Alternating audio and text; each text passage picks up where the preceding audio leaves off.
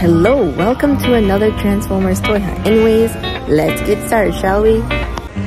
So starting off, we did find some Toxitron, Toxitron, but only Laser Cycle, so G2 Laser Cycle, and there's only two of them. The others are already taken, so that's probably the new thing we found today, which is Toxitron. I don't, there isn't any leaders or other deluxes, so yeah, but you have some bumblebees here face variant, by the way. Some bumblebees, the face variant.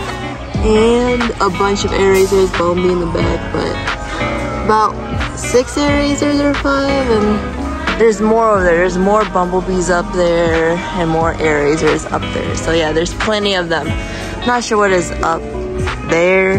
Not sure, but yeah.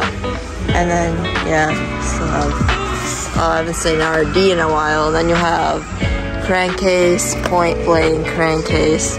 Of course, I already mentioned that. And then you have the new evolution, just a repack of Blitzwing and just Legacy Galvatrons and another Blitzwing in the back right there. And just Starscream here. They, they really need to put that in clearance and then we're falling.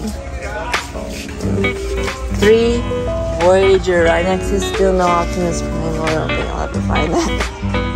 But yeah, and that is it.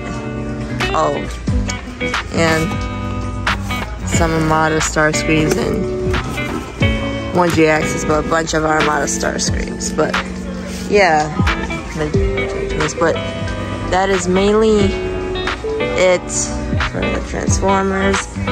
Anyways, that is it for today's Transformers story. I hope you enjoyed this video. I'll See you later, and thanks for watching.